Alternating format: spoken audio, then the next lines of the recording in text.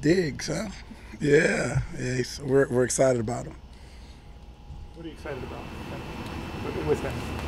Well, just uh, you know, watching the film and watching his career, he's a pretty explosive player. And anytime you have a team full of explosive players, that's pretty good. How can a guy, how can Bobby Wagner, as good as he is communicating, help Diggs through this first game, this first week? Well, it, it, it takes both of them. Uh, not one guy has to do all the work. I think that um, Bobby, as well as Diggs himself, being a, a veteran like he is, uh, uh, I'm sure he'll hit the books. I'm sure he'll learn the defense and learn the the, the uh, calls that are being made this week, and he'll be ready to roll when it's time to play.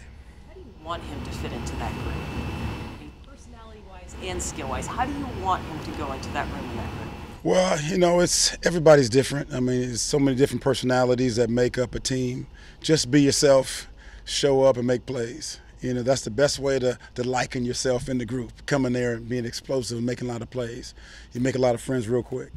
Are you able to get Tedric and Blair and Diggs on the field at the same time, or is it someone going to be uh, it's hard to say. It's just a matter of competition. It's a matter of the fact that we're banged up a little bit, but uh, we want to get uh, the two best guys out there ready to roll. What do you express to the guys who, are, those two in particular, when a trade is made at their position and they might be feeling that, you know, they're all of a sudden? Uh, we don't talk a whole lot about it. Uh, at this level, it's about performance. It's about uh, game day performance. It's about making plays, and everybody understands the situation.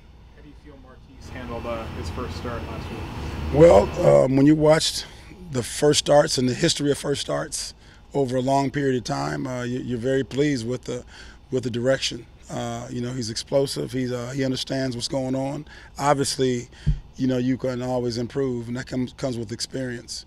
But when you look at first starts over the history of ball, not bad. Do you, do you feel like there's there's more with Bobby this year? He's had to deal with Clowney coming in week one, making sure he's good, and then Ziggy coming in three, making sure he's good.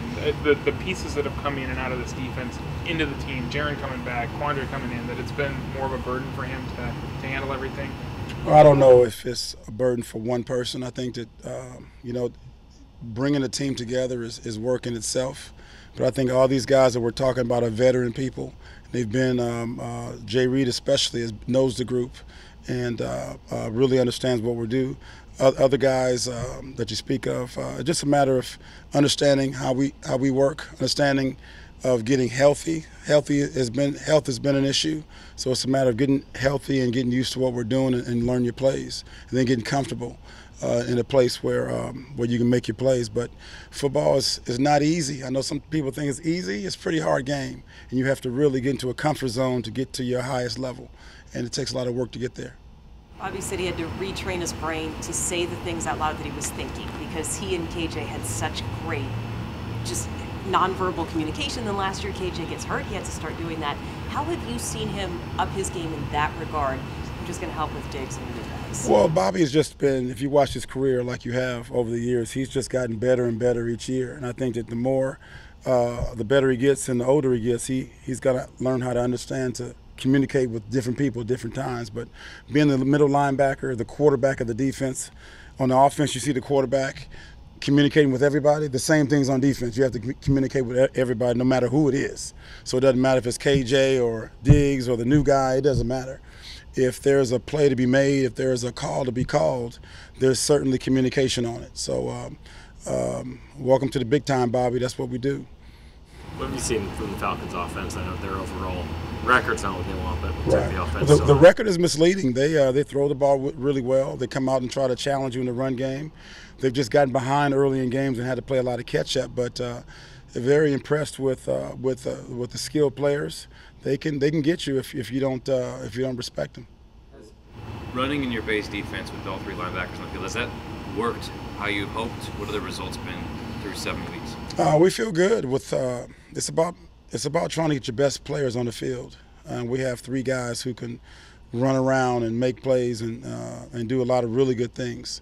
So you try to field all 11 players with the most uh, best football players you can at one time. So uh, if it's about putting the best players on the field, then that's what we're going to do. When you go to a week not knowing necessarily who's playing quarterback, does it change how you prepare for a team, or is it just preparing for an offense? Oh, that's the offense, and then there's, if the quarterback has been around for a while, he's got some film somewhere that we can certainly find out where he is. But uh, you know, Schaub's been around for a while, so I think that uh, you know he's got some good film out there, and uh, I think we have a good feel for for what's going on. Anything else? Thanks, Coach. Thank you.